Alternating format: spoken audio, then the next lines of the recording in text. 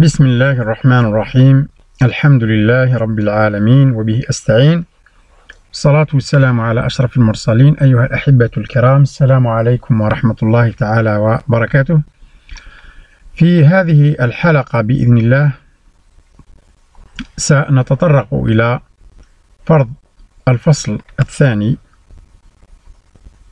في مادة العلوم الفيزيائية والتكنولوجيا مستوى السنة آه، الثانية من التعليم المتوسط وبدون إطالة مع الوضعية الأولى المقترحة في هذا الموضوع. يقول بينما كان الأستاذ يقوم يقوم تلامذته أمسك قلما ومسطرة ورسم قطعة مستقيمة على السبورة. ثم أخذ المدور ورسم دائرة. ثم أعطى المهام المطلوبة من التلاميذ متمثلة في إتمام هذا الجدول. إذا لدينا النقطة المادية تتمثل في المثال الأول رأس القلم والمثال الثاني رأس المدور يعني الرأس الراسم الذي يركب فيه القلم. وأعطى هذه الحالات الحركية. يقول رأس القلم متحرك.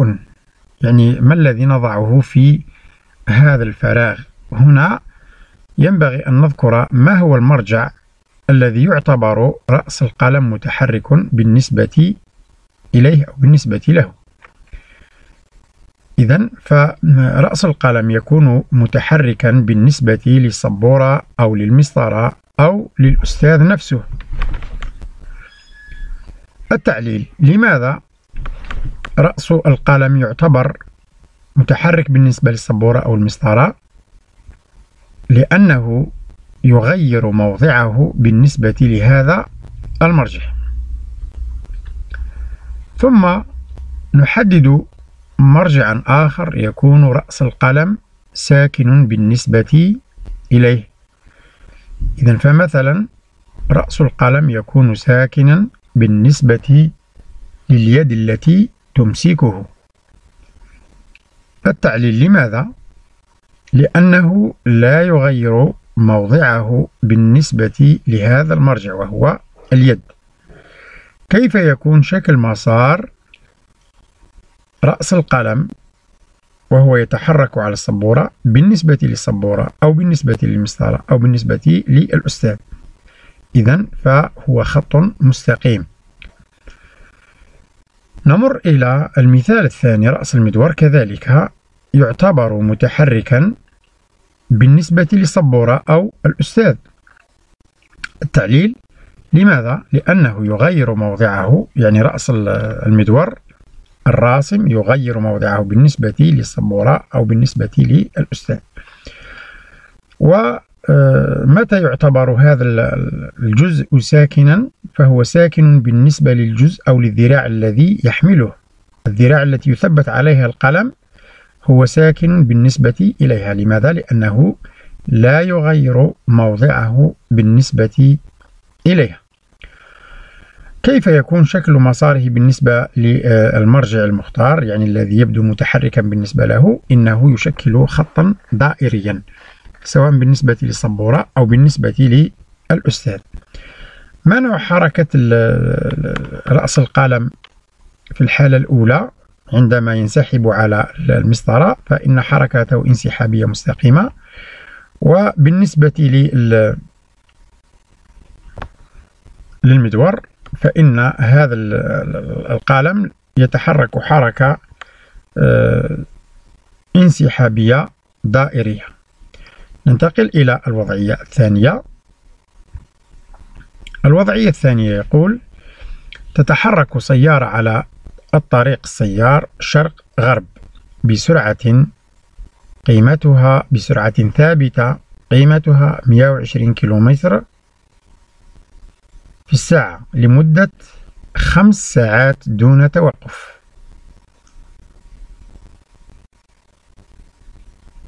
ما هي طبيعة حركة هذه السيارة؟ علل إجابتك ثانيا ما هي المسافة التي تكون قد قطعتها وكم هي ثالثا كم هي المدة الزمنية التي استغرقتها من أجل قطع مسافة 360 كيلومتر عبر عن سرعة هذه السيارة بالمتر على الثانية إذا فطبيعة الحركة لا شك أنكم تعرفتم عليها أنها حركة انسحابية منتظمة. علل إجابتك لماذا هي انسحابية منتظمة؟ آه، هي انسحابية لأن الجسم ينسحب بالكامل وبالتالي تكون كل نقاطه مساراتها متماثلة. هذا بالنسبة للانسحاب. ولماذا قلنا أنها منتظمة؟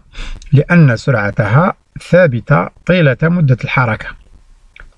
ما هي المسافة التي تكون قد قطعتها؟ هنا ينبغي أن نتذكر العلاقة التي حسبنا بها السرعة المتوسطة. V تساوي D على T أي السرعة المتوسطة تساوي المسافة المقطوعة على الزمن المستغرق ومنها من هذه العلاقة نحن نريد أن نحسب المسافة ومنه نستخرج علاقة لحساب المسافة أي D تساوي V ضرب T. المسافة تساوي السرعة في الزمن. نطبق عدديا. D يساوي الآن السرعة معطاة 120 كم في الساعة. لمدة خمس ساعات نضرب في خمس ساعات فنحصل على الناتج D يساوي 600 كيلو متر كم هي المدة الزمنية التي استغرقتها من أجل قطع مسافة 360 كيلومتر؟ هنا كذلك نتذكر أن قانون السرعة V يساوي D على T ومنه نستخرج T الزمن. الزمن يساوي المسافة على السرعة. نطبق عدديا. T يساوي 360 تقسيم 120 360 قلنا هي المسافة المعطاة. قال كم هي المدة الزمنية التي استغرقتها من أجل قطع مسافة 360 كيلومتر؟ إذا المسافة 360 كيلومتر السرعة هي 120 كيلومتر في الساعة وبالتالي سيكون الزمن t يساوي 3 ساعات أي من أجل مسافة قدرها 360 كيلو آه، من أجل مسافة قدرها 360 كيلومتر فإنه يستغرق زمن قدره 3 ساعات لأنه يسير بسرعة ثابتة. عبر عن سرعة هذه السيارة بالمتر على الثانية. إذا لدينا دائما V يساوي D على T. سنطبق V يساوي D. الآن هنا D كانت بالكيلومتر 120 كيلومتر. نقوم بتحويلها إلى المتر نضرب في 1000 نقسم على واحد في 3600 هنا ضربنا في 3600 لتحويل الساعة إلى الثانية. وبالتالي نجد المسافة آه، السرعة بالمتر على الثانية V تساوي 33.33 متر على الثانية. هذا بالنسبة للوضعية الثانية. نمر إلى الوضعية الإدماجية. تم قذف كرة بشكل شاقولي نحو الأعلى ثم تم استقبالها في نفس الموضع وتمت معاينة تغيرات سرعات سرعتها فكانت كما هي ممثلة في المخطط التالي. إذا لدينا المخطط فيه تغير السرعة بدلالة الزمن. أعطى لنا القيمة القصوى تساوي 16 آه، متر على الثانية. وأعطى لنا آه، زمن آه، المتوسط في المنحنى يساوي 5 ثانية. وأعطى لنا هذا الجدول أتمم الجدول التالي. ما هي مراحل الحركة التي مرت بها هذه الكرة؟ ما هو مجالها الزمني؟ مدتها الزمنية حالة سرعة طبيعة الحركة. طبيعة الحركة الإجمالية أثناء الصعود والنزول الزمن الكلي للحركة صعودا ونزولا آه، المسافة الإجمالية التي قطعتها الكرة صعودا ونزولا. إذا لا شك أننا نلاحظ بأن المنحنى ينقسم إلى آه، مرحلتين. إذا فالحركة مرت بمرحلتين. المرحلة الأولى ما هو مجالها الزمني؟ تبدأ من الصفر إلى الخامسة الثانية الخامسة من صفر إلى خمس ثواني. إذن هذه هذا المجال الزمني. لنحسب المدة الزمنية. المدة الزمنية هي الفاصلة النهائية ناقص الفاصلة الابتدائية. أي خمسة ناقص صفر وتساوي خمس ثواني. إذا هذا بالنسبة تي واحد سميناها تي واحد وهي آه، زمن الصعود يساوي خمس ثواني. كيف كانت السرعة؟ حالة السرعة لا شك أنكم تلاحظون أن السرعة عند اللحظة الابتدائية كانت تساوي 16 متر في الثانية. عند اللحظة النهائية خمس ثواني صارت تساوي صفر. إذا من 16 إلى صفر معناها أن السرعة تناقصت. إذا فالسرعة متناقصة. الآن لما كانت السرعة متناقصة ماذا نقول عن طبيعة حركة الكرة؟ أي الكرة أثناء صعودها تتباطأ تكون حركتها متباطئة. ثم نمر إلى المرحلة الثانية. المرحلة الثانية تبدأ من ما هو مجالها الزمني؟ تبدأ من خمسة إلى عشرة من خمسة إلى عشرة إذا المجال الزمني قلنا هو من خمسة إلى عشرة ما هي مدتها الزمنية؟ كذلك تي تساوي الفاصلة تي 2 تساوي الفاصلة النهائية ناقص الفاصلة الابتدائية أي 10 ناقص 5 وتساوي 5 إذا تي 2 تساوي 5 ثواني. بمعنى الكرة أثناء صعودها تستغرق 5 ثواني أثناء نزولها تستغرق كذلك 5 ثواني. الآن كيف هي حالة السرعة؟ لاحظ أنها كانت عند بداية المرحلة الثانية كانت السرعة منعدمة عند الصفر. بمعنى الكرة وصلت إلى آه، أعلى ارتفاع وستعود. إذا السرعة في اللحظة صفر عند أعلى ارتفاع تكون السرعة منعدمة كما هو في المنحنى. في الفاصلة النهائية يعني عندما تصل إلى يد الشخص أثناء نزولها عندما تصل إلى يد الشخص تصير سرعتها 16 متر في الثانية. إذا من صفر إلى 16 فالسرعة متزايدة. إذا أثناء السقوط تتزايد سرعة الكرة. إذا فسرعتها متزايدة. بما أن السرعة متزايدة فإن طبيعة الحركة تكون متسارعة. إذا قال ما طبيعة الحركة الإجمالية للكرة؟